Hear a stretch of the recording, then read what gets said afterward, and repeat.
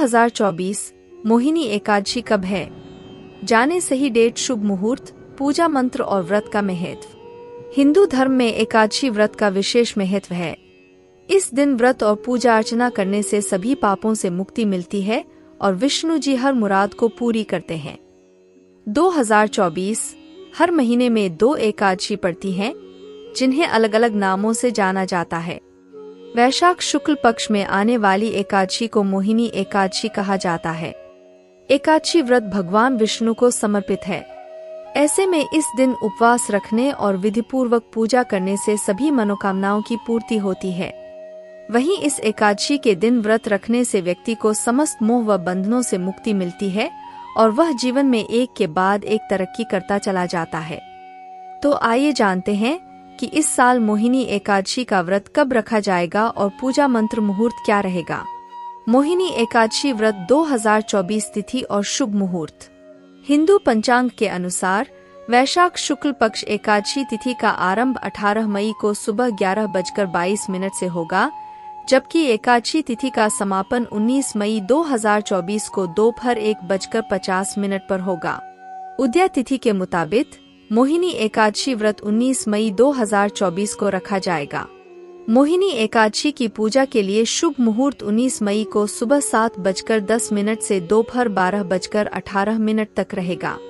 मोहिनी एकादशी का पारण 20 मई को सुबह पाँच बजकर अट्ठाईस मिनट से सुबह आठ बजकर बारह मिनट के बीच किया जाएगा। मोहिनी एकादशी व्रत 2024 पारण समय। मोहिनी एकादशी व्रत का पारण 20 मई सोमवार को किया जाएगा। उस दिन आप व्रत का पारण सुबह पाँच बजकर अट्ठाईस मिनट से सुबह आठ बजकर बारह मिनट के बीच कभी भी कर सकते हैं।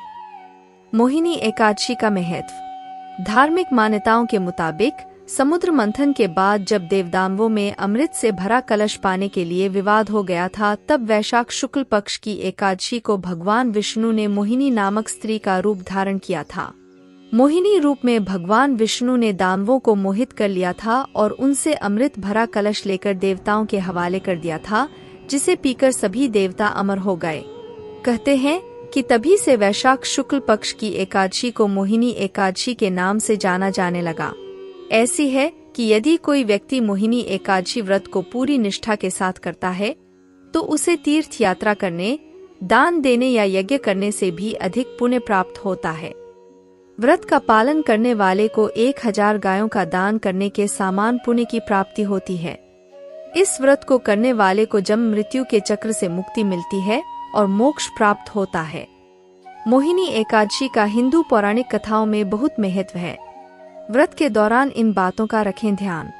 मोहिनी एकादशी के दिन तुलसी के पत्ते नहीं तोड़ने चाहिए।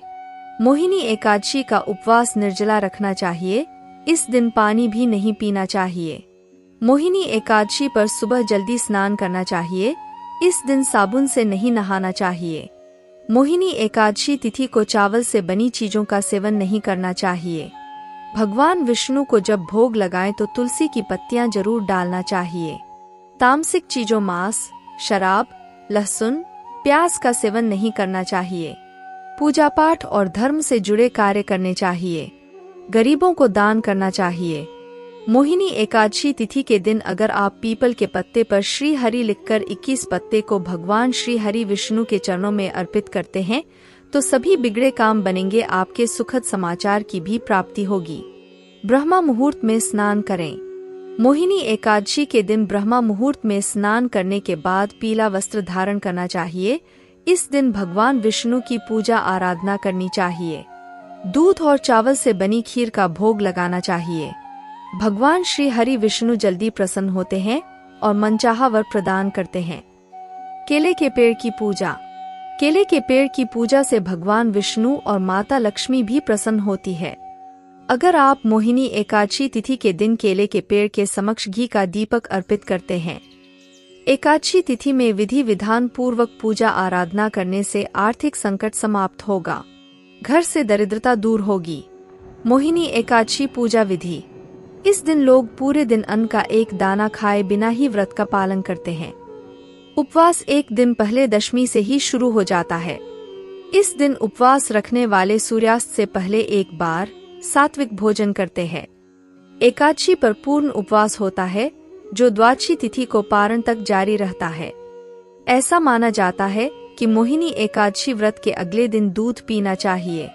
मोहिनी एकादशी व्रत का पालन करने वाले को सूर्योदय से पहले उठ जाना चाहिए। तिल और कुश से जल्दी स्नान करना चाहिए। उसे दशमी की रात को ज़मीन, फर्श पर सोना चाहिए।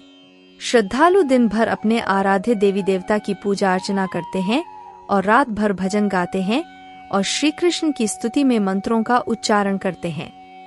कुछ लोग स्वास्थ्य संबंधी जटिलताओं के कारण उपवास के सख्त नियमों का पालन नहीं कर सकते हैं। वे मोहिनी एकादशी पर आंशिक उपवास या व्रत का पालन कर सकते हैं। फलाहार खाने की अनुमति है।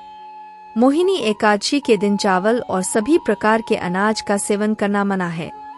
इस दिन विशेष मंडप भगवान विष्णु की मूर्तियों के साथ तैयार किया जाता है। भक्त भगवान की चंदन, तिल रंग बिरंगे फूलों और फलों से पूजा करते हैं। तुलसी के पत्ते चराना बहुत ही लाभदायक होता है। वैदिक ज्योतिष शास्त्र के अनुसार, मोहिनी एकादशी के दिन सुबह उठकर स्नान करें। उसके बाद साफ़ सुथरा वस्त्र पहने। बाद में घर के मंदिर की साफ़ सफ़ाई अच्छे से करें और मंदिर में दीप प्रज्वलित करें। दीपक जलाने के बाद भगवान विष्णु को जल से अभिषेक करें। अभिषेक करने के बाद भगवान विष्णु को वस्त्र पहनाएँ। वस्त्र पहनाने के बाद भोग अर्पित करें और सच्चे मन से विधिवत पूजा करें। अंत में आरती करें और क्षमा याचना करें। सभी लोगों में प्रसाद वितरण करें। मोहिनी एकादशी पूजा सामग्री लिस्ट। गंगाजल चौकी, सुपारी, तुलसी दल, नारियल, चंदन, पीला कपड़ा, आम के पत्ते, कुमकुम, फूल, मिठाई, अक्षत, लौंग, पंचमेवा, धूप, दीप फल भगवान विष्णु और माँ लक्ष्मी की प्रतिमा आदि। अगर आपको ये वीडियो अच्छी लगे तो कृपया वीडियो को लाइक करें, चैनल को सब्सक्राइब करें और वीडियो को शेयर करना ना भूले। कमेंट में हर हर महादेव लिखे महादेव आपकी सभी मनोकामना पूर्ण करें। डिस्क्लेमर, इस लेख में दी गई किसी भी जानकारी की सटीकता या विश्वसनीयता की गारंटी नहीं है। विभिन्न माध्यमों जैसे ज्योतिषियों, पंचांग, मान्यताओं या फिर धर्म ग्रंथों से संग्रहित कई जानकारियाँ आप तक पहुंचाई गई है। हमारा उद्देश्य में सूचना पहुंचाना है। इसके सही और सिद्ध होने की प्रमाणिकता नहीं दे सकते हैं। इसके किसी भी तरह के उपयोग करने से पहले संबंधित विशेषज्ञ से सलाह ज़रूर लें।